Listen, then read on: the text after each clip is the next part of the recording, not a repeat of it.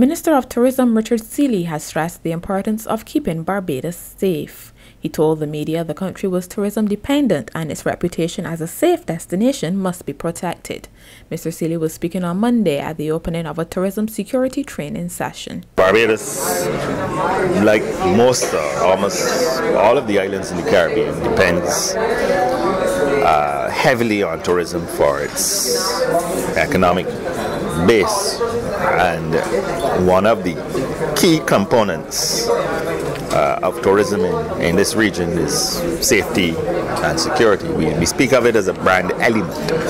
And I think that we have had our issues, but generally speaking, people perceive other regions as, as, as being more of a security threat and, and, and come to us because uh, they figure we are safe and we are secure. No, no, that's something that we, we, we simply cannot take for granted we, we have to shore it up.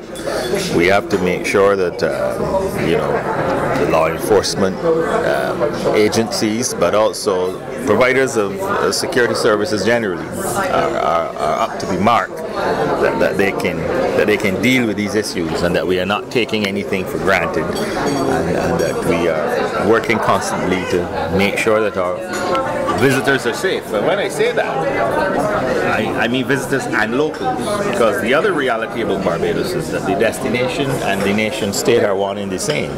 So whatever happens in Barbados could potentially impact our visitors. We do not have a, a region or an offshore island or something where, where, where, tourism is concentrated. As larger islands, uh, countries in Central America and, and, and, and South America, they can they can speak to a, a, a, tourism region.